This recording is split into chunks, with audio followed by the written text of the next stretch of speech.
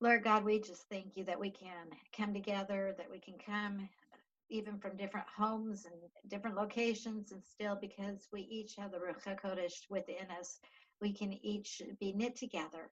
We can come together in one mind, one heart, in that unity of spirit, lifting up our prayers and our praises to your holy throne at this very moment, thanking you that you are Almighty God, thanking you that you are in control, thanking you that you are more powerful than anything this world could throw at us, thanking you that even when we go through the valley of the shadow of death, you are with us.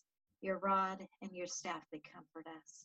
Thank you, Lord, that that comfort can be extended to the Ensman family and to the Perl family and to others who knew Aaron. Lord, we pray for each one that knew him in their life, that know you, that this does draw them closer to you, more on that walk of sanctification toward you that we all should be striving for. And Lord, I pray for the unsaved in his life that it might be a motivator for them to want to know what the future holds that can only be found in a relationship with you. So use it to your glory, Lord. May you be honored in it. And wherever we are apart, Lord, may we shine for you because uh, that's our great joy is to be used of you and that people see you. As we open your word together now, may it bless and nourish and strengthen and fulfill the needs of each heart.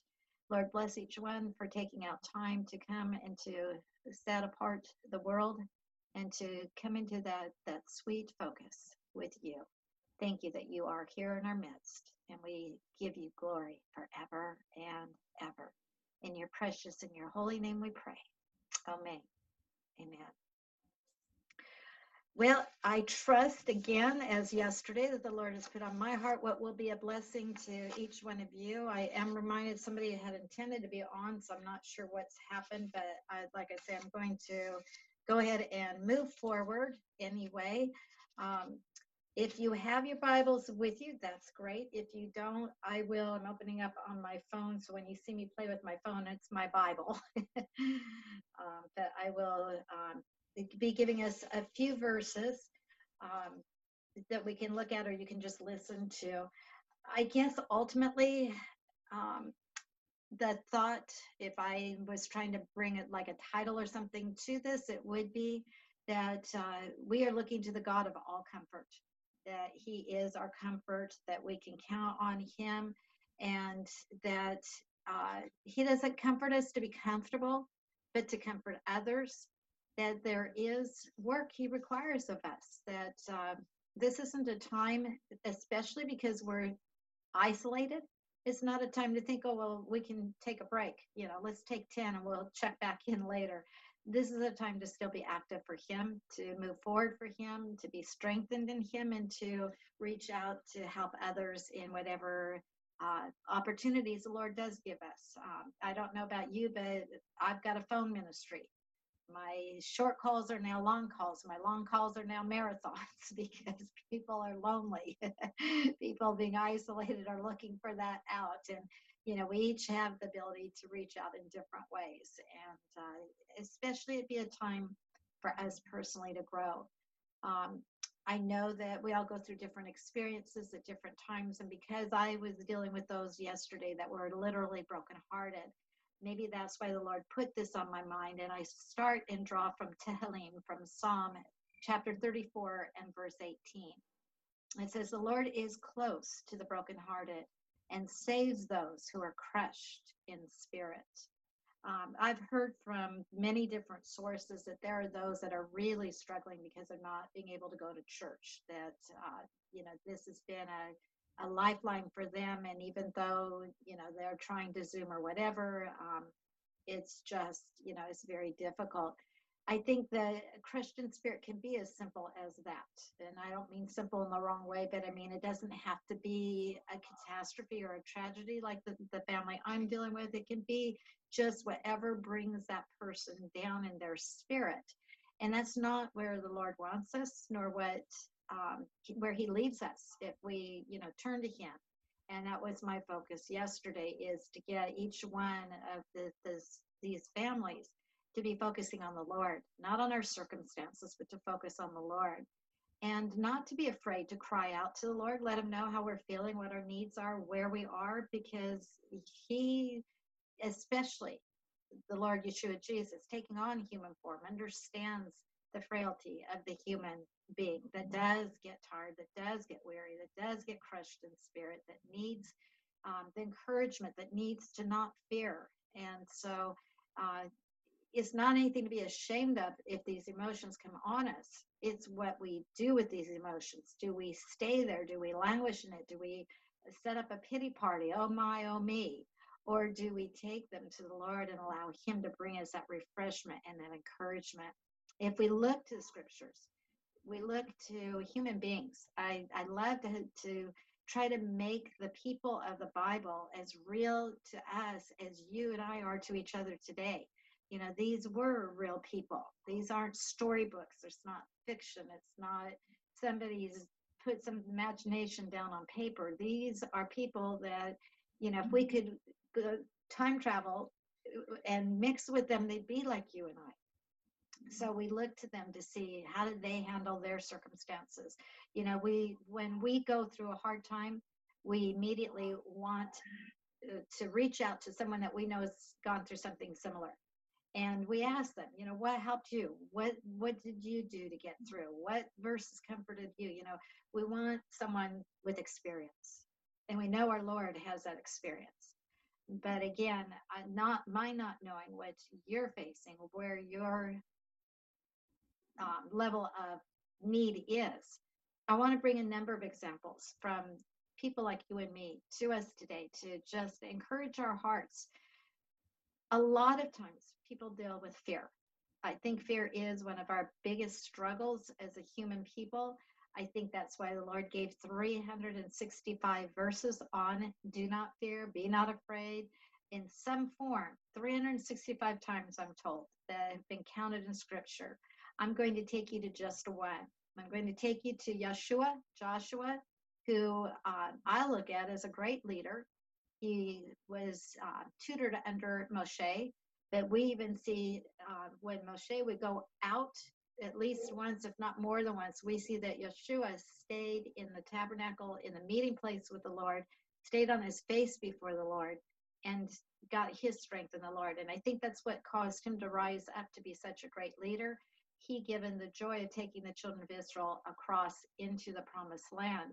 But when that uh, mantle was being passed to him, when Moshe was going to be leaving him, and I think we can relate to that if you've had someone who's been a mentor in your life, someone who's been close to you, um, that that you know you're being separated from. You you're feeling that void, and you're probably beginning to to feel the can I measure up? You know, can I fill those shoes? And of course, in ourselves we cannot. But I think that Joshua knew what to do. He knew to cry out to the Lord, and we have recorded for us in Joshua 1 9 the answer that was given to Joshua. And if you want to open your, your Bible to that, that's one of the verses we will look at. I think it's one you may even know by memory. I think I do, but as soon as I try to quote it, I get myself into trouble. Um, so I'm going to go ahead and read it, and my Bible reverted. So I'm calling it back up. Sorry. Joshua 1. Oh, it's there. Okay. And verse 9. And we read there have I not commanded you? Okay, if it's a commandment coming to Joshua, we know is coming from the Lord God, that he's the one commanding Joshua.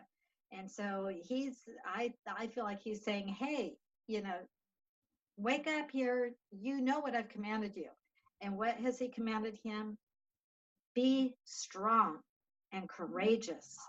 Do not tremble or be dismayed. Okay, that's great. Anybody can tell you, well, be strong you know, back up, come on, be courageous. If he stopped right there, the verse honestly would have no value to, to us today. It might have value to Joshua because he was basic firsthand and getting it from the Lord, but what does it say to us? But it doesn't stop there. I, I love the next part. Why should he be strong? Why should he be courageous? Why shouldn't he tremble? Why shouldn't he be dismayed? There's one reason, and one reason is all we need for whatever we're fearing, and that is for the Lord your God is with you wherever you go. And I don't know about you, but that makes my heart sing. It's like, okay, Lord, if I know you're going with me in this, you and I can get through this together. I never have to worry about the Lord saying, I'm going to leave you. You know, even when he physically left his Talmidim, he gave them the Ruach HaKodesh, the Holy Spirit, who indwelled them, which was even a stronger connection than he could be on the outside to them at the same time. And, you know, we're coming up to that time. Another week, we're going to be celebrating the coming of the Ruach HaKodesh. So it's timely to think about it. But I see, uh, again, in this, you know, the comfort that is ours. I don't care where you are. I don't care how many human beings in your life have walked away from you or left you, whether by choice or whether by force, whether by a tragedy or whether, you know, by just simple, you know, sometimes things come up and people have to move, whatever the reason, you never need fear that the Lord will not be with you in it. Joshua saw that, took that, led the children of Israel, and is respected as a good leader in his um, in, in the pages of the scriptures that talk about him. So I use him for a great example for us, if that be our need. What about to the Israelites when they were slaves in Egypt. That could not be easy. Again, I want to make us think and not just read words on a page and go on. If you were living in slavery, you've got someone that's more than an eight to five boss over you. You've got someone who has your life or your death in their hands. Being slaves, they could be beaten to death at any moment in time.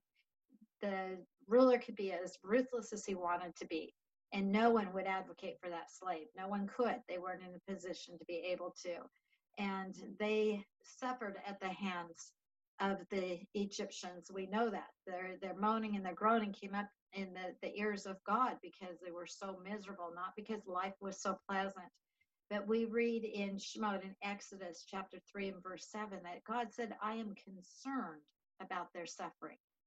That shows me a, a personal um, attention toward what we're dealing with. The Lord is concerned about their suffering. We know earlier he said he heard their groaning and their moaning and he raised them up the deliverer. He brought them Moshe who brought them out of Egypt. But there's something more being said in those words. I'm concerned about this one. Maybe again, I have to relate to it from where I am in my personal life right now. I hear the tragedy. I knew this young man just barely. So I'm not filling the void.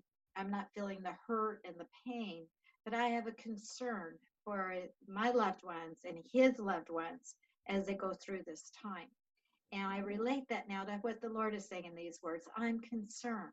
I see a, a personal interest in those words and a um, personal interest to connect and to help these people that's what I'm trying to, to put a face on this for us today that we have a God who is personally interested in us. He has a personal interest. On that note, we see him say to the widow who had lost her only son, Don't cry. Now, that could be very insensitive. You just lost your son, don't cry. You know, we hear that sometimes. People who've gone through the death of a loved one can tell you, and I think I'm preaching to the choir here. I think we've all experienced the loss of loved ones. You go, you will get um, Job's counselors and you'll get God's counselors.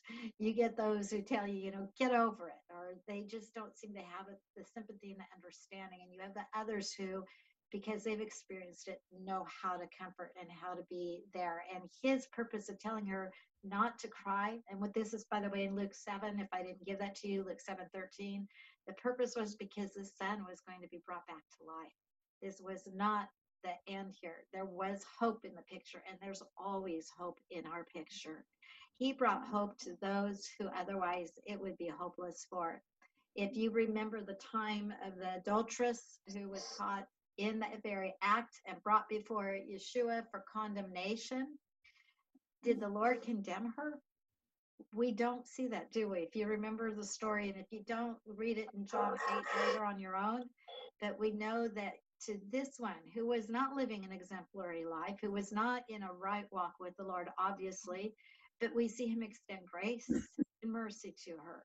We see a love that looked past her circumstances. She, I'm sure it was a setup. You know, where is the man? Why wasn't he brought also? It takes two to be in that act. But, you know, they were doing what they could to trip up the Lord and they had no care for this person. I can only imagine her life being pretty empty and pretty lonely on a normal basis.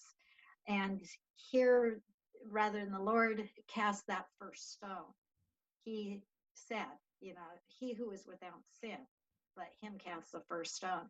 And I know that we don't know definitively what he wrote in the dirt, but I tend to think what he was writing because one by one her accusers left.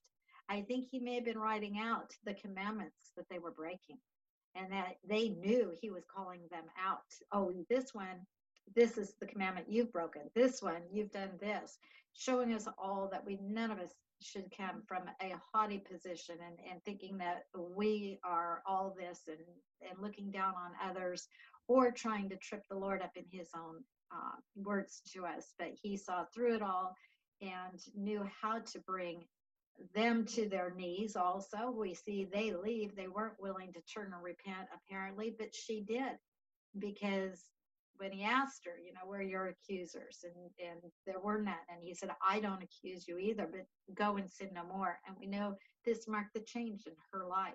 That she had a personal encounter with the Lord. So what was meant to do her harm and was meant to do the harm harm to the Lord, we see turned out to bring a beautiful relationship out of it no matter where we come from. And I know you all talking to other people also, I often will hear from the unsaved out in that world, you know, well, I, I need to clean myself up first. Uh, you know, I'm too bad to be loved. I'm, this is too bad. God couldn't, you know, overlook this. Well, you know, you're right. He can't overlook it, but he can forgive through the love of the shed blood of Yeshua Jesus. So that's for all of us. If we're caught in our sin, confess your sin and feel his forgiveness because he is faithful and just to forgive. And if we have that forgiveness, then exude that to others, sharing with them the way for them to also come into this love, this love that that opened her eyes to a new life. And opening her eyes reminds me of the blind man that was longing to see and Yeshua touched him. Luke 18:42 said, "Receive your sight." And the reason why with this one, and, and why I'm bringing this one out to you, because he he gave sight to many, but this one recorded here in Luke 18, he said, "Your faith has healed you." He looked to Yeshua Jesus and faith believing. The same way I hear Martha say it to Yeshua. Even if you ask now, my brother can live. She had faith in him. Our faith in our Lord is always rewarded. We'll never, um, what's the word I want? Never regret putting our faith in the Lord. It will mm-hmm. never be put that to shame. We'll never be disappointed. He is our faithful one. And I'm so thankful because I can't measure up. But it's not me, it's faith in Him. And that's what I, I want to encourage us to see. His disciples, his Talmidim, when he was leaving them, he's a friend now. He's they've been walking with him three and a half years. I can imagine, you know, the feeling of, you know, I don't want this this friend to leave. I don't know about you, but if I had a close relationship with someone for three and a half years and I, they're telling me they're going to go, I feel the heart pain, and I think that that they were feeling that that he told them, even though he was going, I will be with you even to the end of the age. He was not leaving them comfortless and he was not leaving them alone. And we know, you know, what followed again, the coming of the Ruach HaKodesh. But he also told them something that, that I don't see any reason why it should not eh, put a bright spot in our futures. And that is what he tells them in Yochanan in John chapter 14 and verse 2. He said to those at that time, um, I am going to prepare a place for you that where I am, there you may be with me also. I think that's pretty exciting that he is not absent from us without remembering us. He's absent from us, making a place for us that we can be with him forever. And that's hallelujah. I don't want to live here forever. I don't want to live in in the, where tragedy strikes and heartache comes. I want to live in his presence forever. And it excites me that he's preparing a place for each one of us. I wonder what our places look like.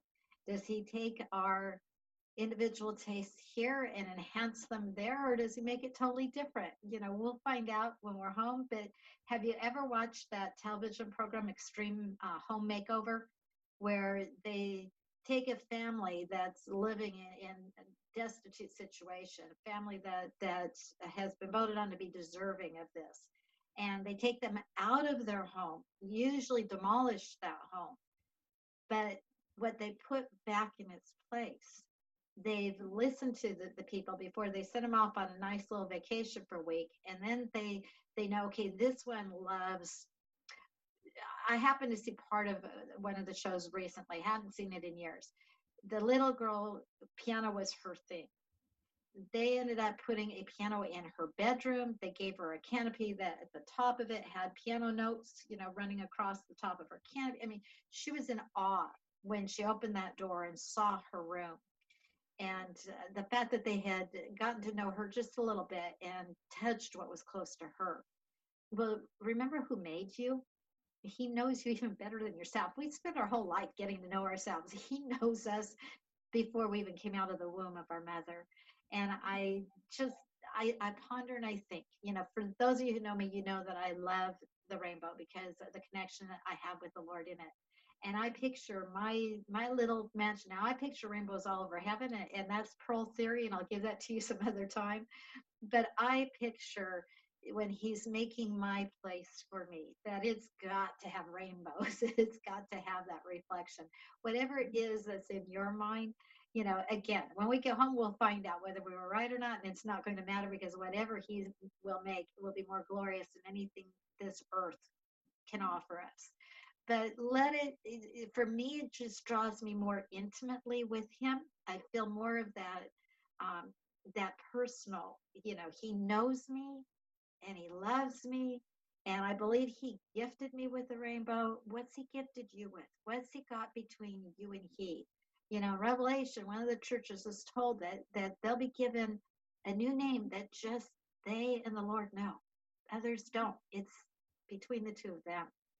And I feel that intimacy is is a higher level of um, of, of the relationship. That when you know someone intimately, then you can you know plan something for them, make something for them, enter in in that that special way that doesn't mean anything to anyone else, but to you and the one on the other end, it does. Again, because of the rainbow in my life, I made a little um, refrigerator magnet for my mom and you know she and i were very close she was my best friend as well as my mom and it basically said a rainbow between two hearts. And it was mom on one side and me on the other. Mm-hmm. and we treasured that. That little thing probably cost less than 50 cents. But it was priceless. And that connection i feel with the lord it's priceless. I hope that each one of you has something like that with the Lord that you are drawing on in your mind right now. Lord, this is what's between you and me. And I picture this all over my place in heaven. I picture this because I see that you want me. And when I know that He wants me, when you know you're wanted and you know you're loved, it warms you. Somebody says from you know the cockles of your heart. I think that means from the very depth of your heart. And this is the one that when you're crushed in spirit, remember how we started out the brokenhearted, he's the one. In fact, there was a shop that my dad saw way back in his day because um, we don't have them now. We're a throwaway society now, but this was one of those little fix-it shops that you would bring your your little things that would break in the house to this place. And it said the sign said we can fix anything except a broken heart. But then they put up another sign below that and they said, But we know the one who can fix the broken heart. And it was their way of being a testimony. And that's what, whether you feel brokenhearted today or not, if you don't, praise God. But if you have or you do in the future, just know, even in the midst of that pain, you know the one who can fix that broken heart. You know the one who loves you so much that he tells you when you're going through deep waters, I'm with you. When you're going through the good days, I'm with you. No matter what life hands us, no matter what day comes, we don't need to succumb to our circumstances. We need to allow our circumstances to be stepping stones that cause us to climb up closer to the Lord. That's what He wants. And I think that's why He gives it to us in a parent child relationship also, because He is that loving, perfect parent. Not the parent that didn't know how to love or didn't, you know, do something right or brought hurt, but he he is that perfect parent knows how to give good gifts to his children, delights in giving good gifts to his children, knows how to comfort them, knows how to heal them, but also knows how to grow them. And that's why I want to bring us in our next step uh, in this thought is he doesn't do all this for us so that we can be at the, in the sunshine and everything's wonderful and we're we're we're of no earthly good because we're just slurpy no, he requires of us also. He told the Talmidim, the, his disciples in Luke chapter 5 and verse 4, he told them, launch out into the deep. Get away from the shore, take that boat, go out into the deep. I can imagine the Talmidim thinking, are you kidding? You know, I don't remember the story right now if this was when they'd been out all night already and not caught anything, but if I remember correctly, it was. But we know that to be true anyway. And the thought being, we tend to want to stay where we feel safe and secure. We want to, to grasp hold of the shoreline. But if you stay on the shore, you never get to see the greater that is out there. You're you're going to deprive yourself of what could be because again you're dealing with that fear. Remember joshua? Don't fear. You know he had to cross over into the promised land. If he held back on the shore and didn't take them into the promised land he'd miss out on the blessing also. And when the lord told his talmidim go out deep. Go out to deep to the fish deep i think we can take that and apply it to ourselves in the sense are you launching out deep in the Word of God? Have you let go of the shoreline? Are you willing to go out where it's not your your boat can rock? In the deep, the waves can come up. In the deep, you can't grab hold of the shoreline. Um, when I was a little girl in a swimming pool, until I learned how to swim well, I would stay very close to where I could grab hold of the side of the pool for the safety and the security it was. I wouldn't go to the middle of the deep end until I felt secure. Well, He is our security. And we need to launch out because He wants to take us deep. If we go deep into the Word of God, there is treasure there. You don't get that on the surface. Yes, you can get good on the surface, but we all know the deeper you go, the, the, the more precious are the jewels that are found and we know that because of his atonement, do you realize how deep in the blood you went? Do you realize you're dipped in the blood? Do you realize how deep atonement is? It's over your head. It covers your whole body. It's it's an overflowing depth that oozes into every nook and cranny, every fiber of your being. And in that place, you experience the depth, the joy of your salvation. That's where you get the illumination of the Holy Spirit. That's where you get the balm that, that is the balm of Gilead that feeds the soul. If you're feeling hungry, and I mean that by you're feeling a little bit low, discouraged, fearful, despondent, what you need is to launch out into the deep. That's just the time to say, Lord, push my boat out. Let the wind come up and take my boat out. Don't let me cling to what's just shallow. I want the depths. I want to go into the depths of the Word of God. I want to go into the depths uh, of His shed blood. I want to be in I want the Holy Spirit, the Ruach HaKodesh, to be able to take me in deeply because remember, let me take you to John 7. John 7 37, I think, is a good place to go right now. And right on the heels of that, I want to take you, um, I think, into Psalm 1. If I don't forget, if I do, you can read it on your own. But John 7, I want to take you to 37, and I believe 38 also, at least 37. And this was Yeshua speaking, and, and I don't have time to give the Jewish background to it, which is amazing and awesome, the celebration and the time that it was. But on this last day of the great feast, Yeshua stood and he cried out, saying, If anyone is thirsty, anyone, I think we fit in that category. I think we're an anyone. if anyone is thirsty, let him come to me and drink. And yes, verse 38 is the key. He who believes in me, as the scripture says, from his innermost being will flow rivers of living water. This he spoke of the Spirit, whom those who believed in him were to receive.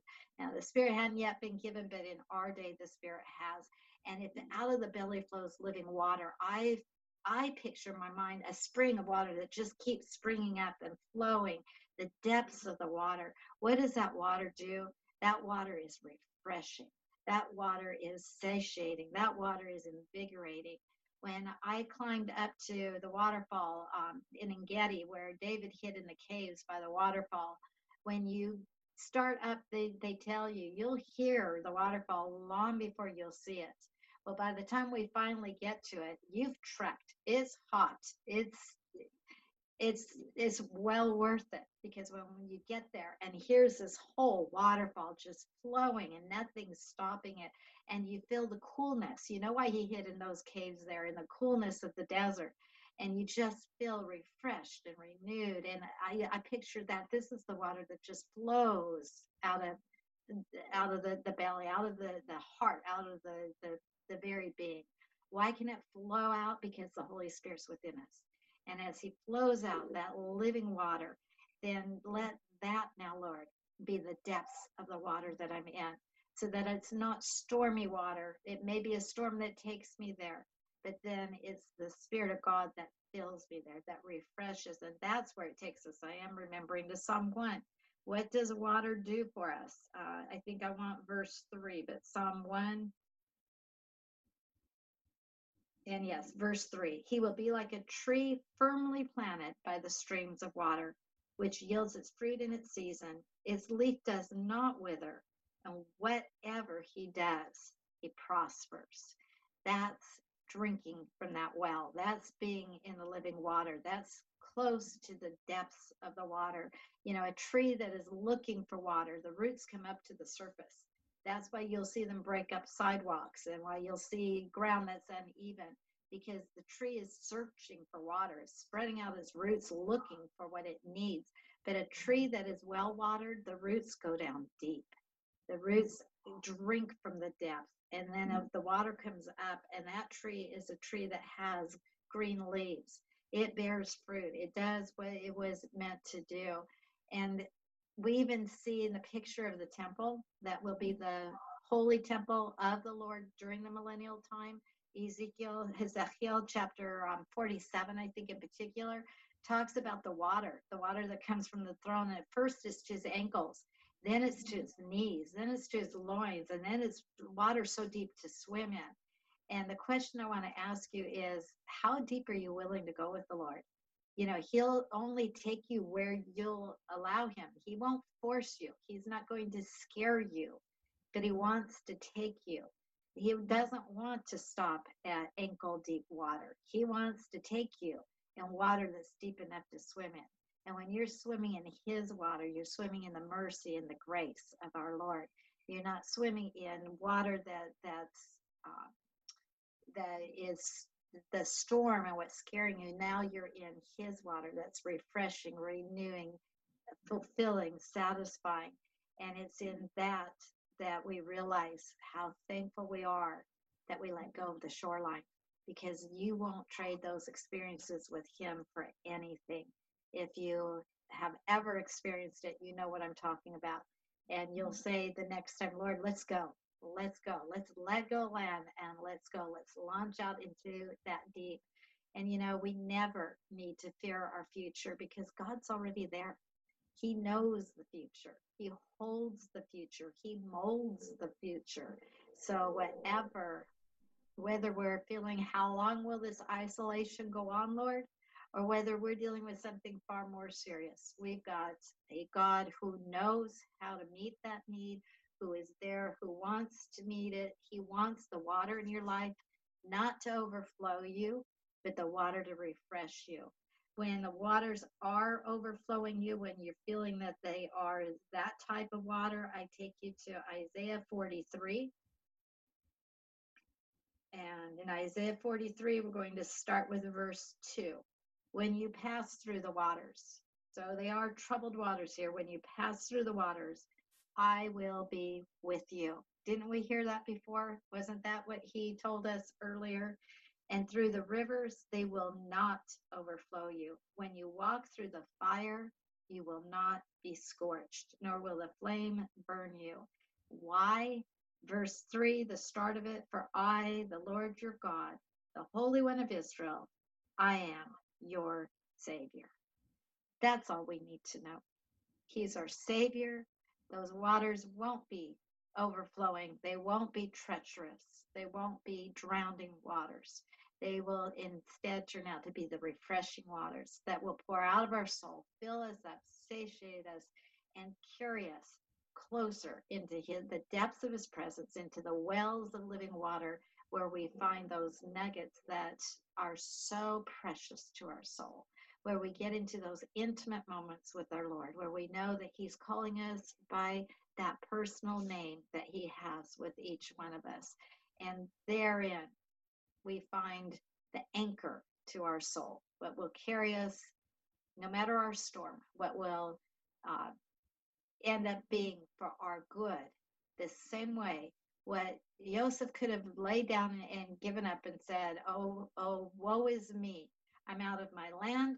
I'm away from my family. I'm sold into slavery. And now I get put into prison when I didn't do anything wrong if he'd had that attitude and if he'd stopped there, he would the waters would have been overwhelming to him. But instead, in it, he trusted his God. He shined wherever he was planted. When he was the slave, he was the best slave. When he was in prison, he was the keeper of the prisoners. He was the one they turned to for answers. And in that, it ushered him from a chain around his ankle to a chain around his neck and he comes into being second in the kingdom comes to being living the life of a prince comes to being the one who is able to save his very own family. What an amazing route took him through that. What his fellow man meant for evil god meant for good. So may it encourage you and strengthen you whether you're in storms that are man's doing to you whether you're in storms in your own mind, from yourself, from your circumstances. It, just look in the Word of God. One of these examples has got to touch you. Someone that I shared something about at this point has to relate to you. And if it doesn't, then ask the Lord to show you where in Scripture it does, because I don't think you'll experience anything that something in Scripture won't relate to that. I think the Lord covered it all in the books that He gave us. And we know again, though, these, yes, these were real people, real circumstances. Let us understand what if the Lord were writing the Bible today? We would be mm-hmm. those people. We would be those examples. That's what he did. Real people, real examples, real life stories. And we don't see a one of them lost, do we? Any that were the Lord's, were the Lord's to the end. Even if the, the body suffers death, the soul is immediately with the Lord. So I trust this has been an encouragement and uplift and a feeding of your soul. May you take it and make it your own. Get into the scriptures that I gave you or scriptures that are touching you where you are right now and draw from that well. Draw, get into the depth. Get take it deep. Launch out. And oh, by the way, remember when they launched out into the deep? That's mm-hmm. when they were overloaded with the fish. There was so much that the nets were even breaking, they couldn't bring it in. God's provision, abundant, above all that we could ask or think. And in fact, let me take you to that, that verse in clothing. That's Ephesians 3. Let me take you there real quick. We've got a couple minutes. I love to do this with this verse. If you've never done this, this verse has so many adjectives or adverbs or whatever they are, you know, one on top of the other, all these superlatives that sometimes we remember it, we quote it, we stop thinking about it in the depth that I think that we should see here. So we need to read this verse. The first word is verse 20. The first word is now. Stop right there. Now. this is for now. This isn't for tomorrow. This wasn't for yesterday and we missed it. This is for now. Um, do we all have a now? I think we do. We all have a now, don't we? We know what now means. Now, to him who is able. I'm going to stop you shorter than that. I'm going to take you just to the two words next. Now, to him. Stop right there and focus. Okay, it's for now. And now to him, to the Lord. Okay, to the Lord. Whoops, I just sent my Bible back to the other verse. Okay, well, I know as I'm looking it up again, now to him who is able. We're not asking just anybody. We're not asking someone that we hope can help us. Thankfully, Lord has put people in my life to help me where I am weak. I'm looking at one of them right now. Eddie, that's you. Eddie is strength and he is strength with a heart. He mm-hmm. will do what what I ask him to do. I have to worry that he'll overdo. I have to to wonder if I'm mistreating him. You know, where was he coming from? Was this a good time? That's because he will never say no, and he will never quit when he and Roger especially were helping move my house. And Roger, you're another one in this. I'm picking on you too, because you're another one with that kind of a heart and strength. But Roger knew his strength was wearing out. And he told me, he said, Man, he said, when I couldn't be Eddie's equal, Eddie just picked it up and did it. you know, that's shallow compared to my God. My God is so able well, how able is he? Let's read it. He is able to do far more. Okay. Beyond what I'm asking. Beyond Eddie, I need help moving something. Roger, pick up the other hand. Beyond that, he is able. He is able to do far more abundantly I've got, I'm sorry, my my computer screen has come up and it's given me a, a, message and there we go. I didn't want it in your faces and I forget that it's not a touch screen. so I was trying to touch my screen. okay, let's get back to the focus. He is able to do far more than we think. Then he doesn't just stop there. Not just he can do far more, but now he, to him who is able to do far more abundantly. Do you know what abundantly means? Abundantly is those waters overflowing, refreshing, renewing, satiating, satisfying in every level, and still more left. You know, when the children of Israel quit drinking and the animals quit drinking, it wasn't because it ran dry, it was because they were satisfied. That's what he's saying here abundantly. And then he doesn't stop there. Now we have to go back to now, to him who is able to do far more abundantly beyond all beyond all, beyond everything. Nothing is a limit. Remember, He's the creator of heaven and earth. Nothing limits our God. And then He doesn't stop there. Now, to Him who is able to do far more abundantly beyond all that we can ask or above, above all that we ask. Okay? Everything I can ask for, He is so far beyond that He's given me word after word after word, just encouraging me, reach, go. You know, there's no limit here. And then he doesn't stop there. He adds on another phrase. Now to him who is able to do far more abundantly beyond all that we ask or think. Wow. How many are in here? How many things do we have? One's to him, two is he's able, three is to do, four is to do far more, Five is to do abundantly. Six is to do beyond all that we ask.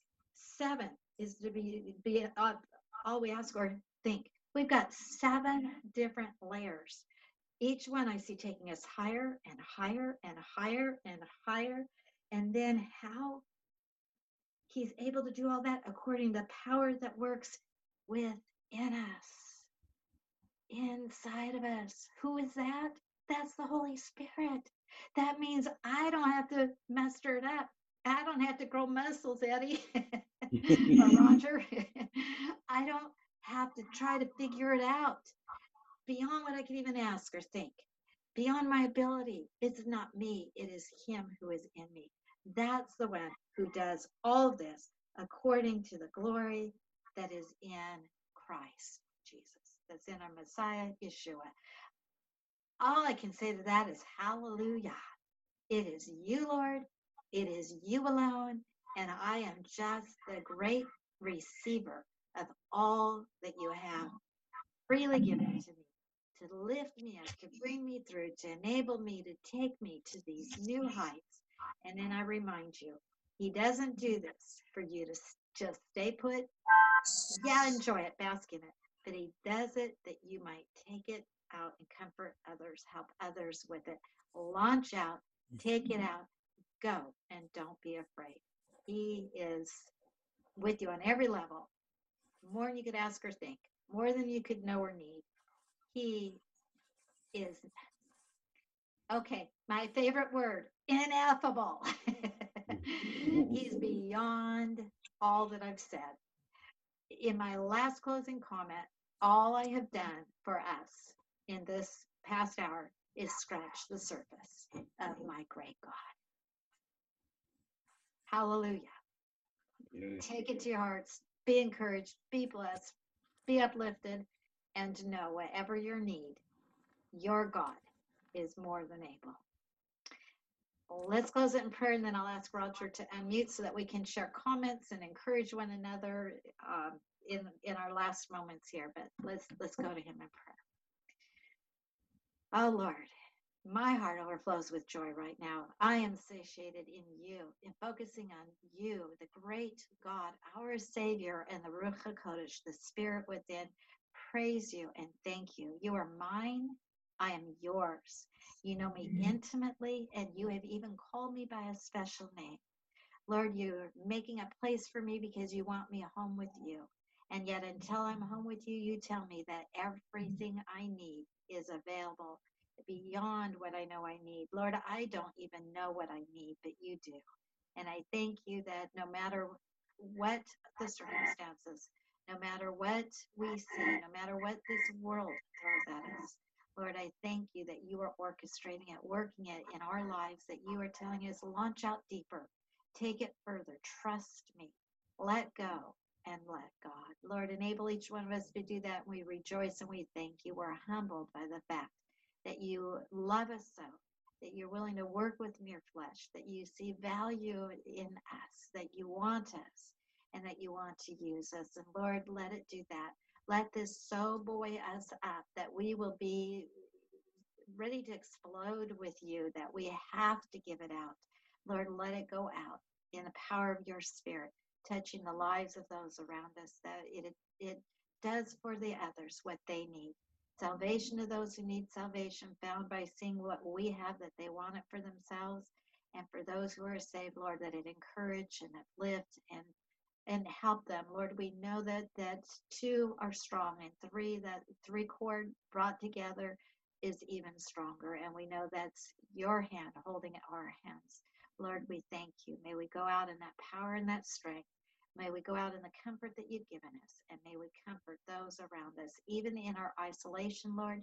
Remind us to pray for those whose lives you are working on, and, and we still are in contact via phone, via Zoom, via a next door neighbor, or, or the grocery store worker, or whoever it is that we're in contact with still. Lord, let your light so shine that the, the children on earth see the Father in heaven and that you are glorified. Lord, thank you that you work with us, for us, in us, and through us. And Lord, I thank you that you even work in spite of us. that how thankful we are for the living waters that will never run dry. Praise you. Thank you for this feast, Lord. Thank you for the refreshing of your word. May our hearts be just rejoicing in you as we close with a great amen. Hallelujah. To you be glory in your precious name. Amen.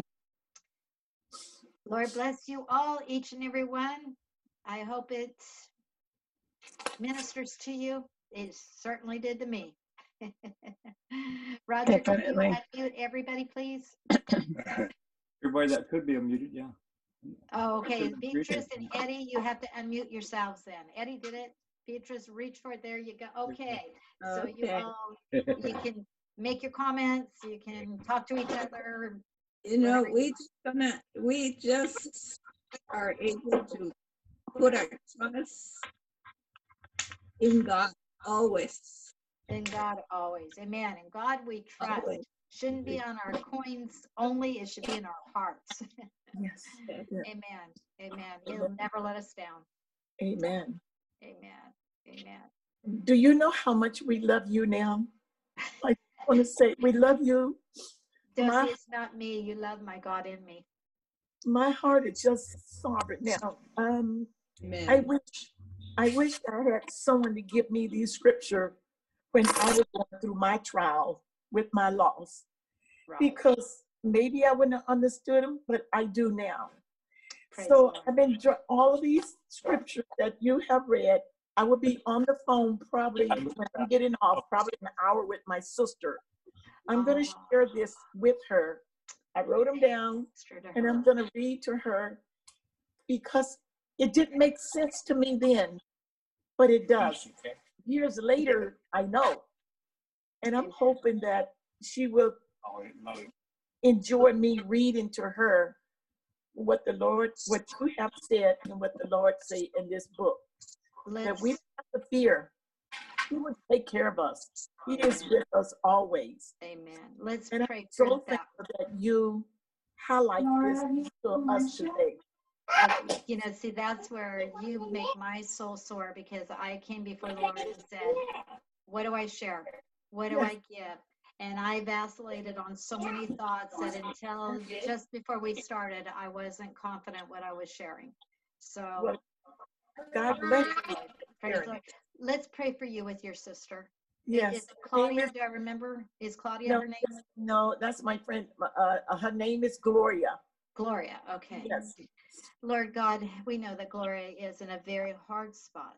We know that her heart is grieving, that she is really hurting, and Dosie has continually tried to be light and truth to help her.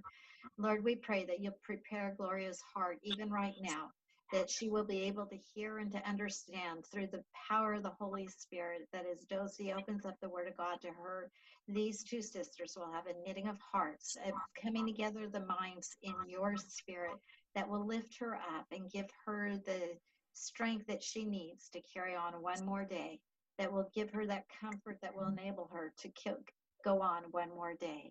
That when Dosie hangs up from her, Dosie's heart will just be exploding with all you have done in both she and her sister to glorify yourself and to meet the needs as you have promised, abundantly above all we can ask or think. Thank you for this opportunity. Now use Dosie, Lord, to your glory, and may Gloria receive it well, and then be able to in turn turn and give it to you. In your name we pray. Amen.